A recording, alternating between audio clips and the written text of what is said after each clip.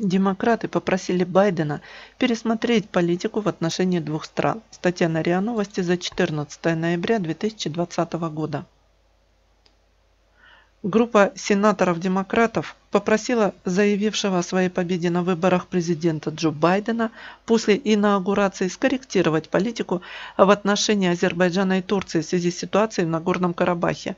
Говорится в письме, опубликованном на сайте председателя комитета по разведке Палаты представителей Конгресса США Адама Шифа. Хотя мы приветствуем мир, мы глубоко обеспокоены как краткосрочными, так и долгосрочными сложностями, которые имеют эти договоренности. Они ничего не делают для решения проблемы окончательного статуса Нагорного Карабаха. Кроме этого, мы считаем, что этот трагический финал можно было избежать, если бы Соединенные Штаты и международное сообщество действовало решительно, говорится в направленном Байдена накануне письме. Слишком долго мы мирились с воинственной риторикой Турции и Азербайджана, и результат этого сейчас ярко очевиден.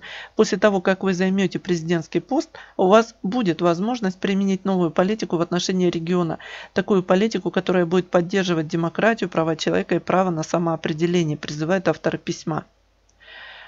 Без комментариев. Они просят Байдена и его новую администрацию прекратить оказание военной помощи Азербайджану, подключиться к переговорам по статусу Нагорного Карабаха под эгидой Минской группы ОБСЕ, оказать гуманитарную помощь и оказать поддержку усилиям по разминированию и возвращению армянских беженцев. Помимо этого, считают авторы письма необходимо пересмотреть политику США в отношении Турции страны, которая, являясь членом НАТО, многократно действует против интересов США, а также укрепить отношения с Арменией.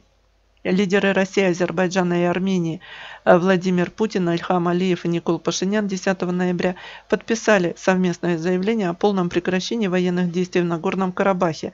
Согласно заявлению, ряд районов переходит под контроль Азербайджана, Стороны, стороны проводят обмен пленными вдоль линии соприкосновения и вдоль Лачинского коридора, соединяющего Карабах с Арменией, размещаются российские миротворцы.